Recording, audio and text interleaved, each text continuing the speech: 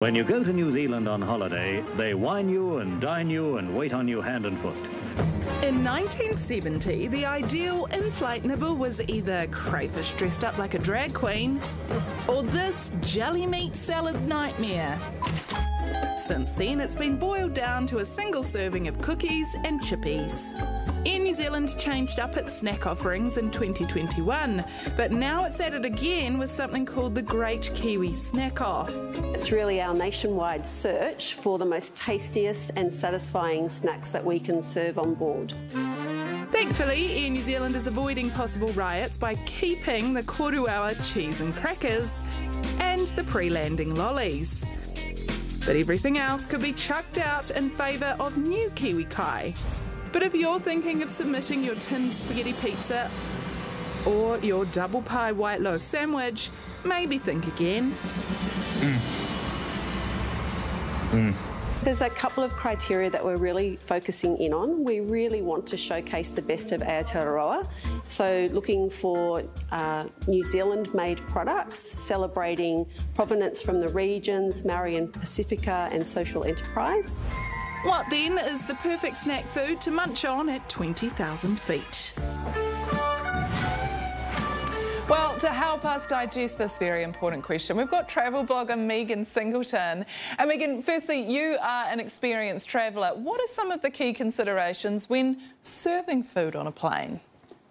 We need to think about how messy it's going to be. Like, I would love a lamington on a plane, but the coconut would probably end up. Can you imagine in between flights every time someone's got to get out the Hoover? Um, smelly. You don't want probably people eating hot fish pies or something on the plane. What? Yeah, curries. I don't think so. I don't think that'll work. Uh, the speed with which the uh, hosties need to turn the project around would be something else that you would need to consider. Okay, so what are we going to go with, Megan? What would be your choice for the new snack?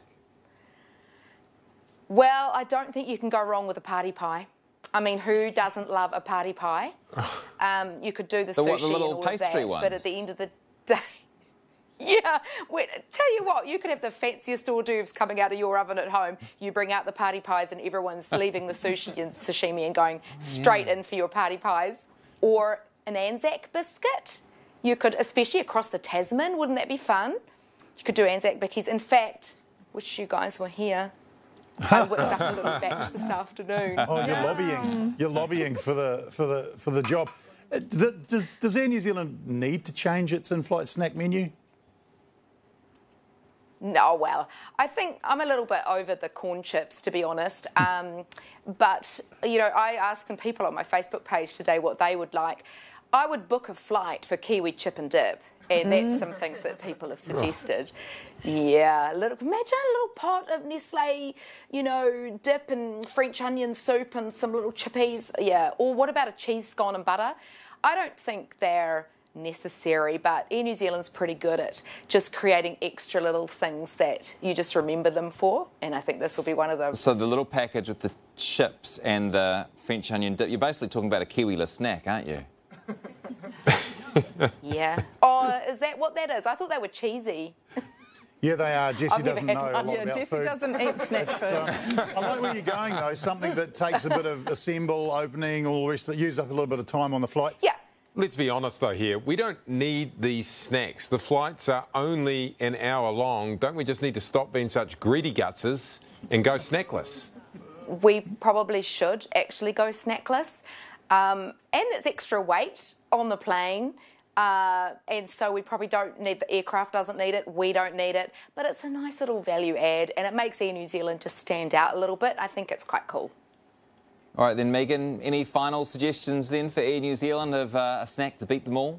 How about the south island cheese roll? Oh, that would be amazing. Pretty much anything out of the edmonds cookbook actually probably would work. Well megan thank you so much for your ideas. Great to chat.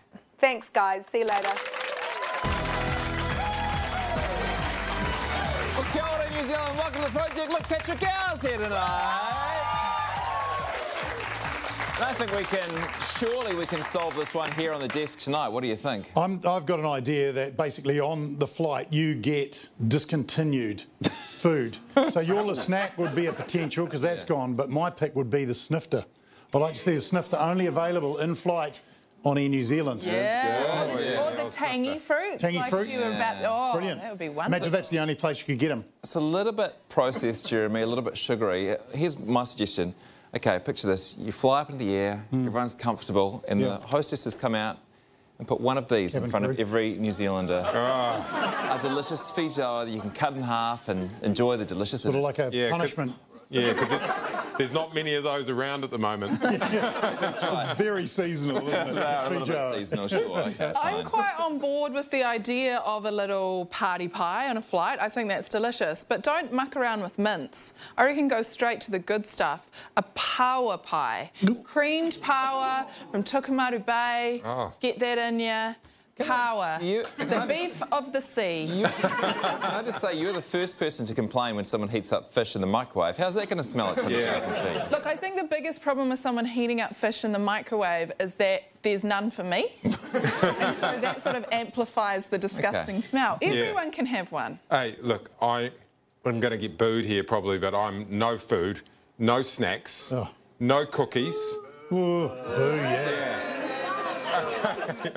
I mean, this is no cookies, nothing. Why? Okay. Well, look, you're there to fly, and when I'm next on Air New Zealand, I'll be polite, but I'll say to them, "I'm here to fly, not to eat."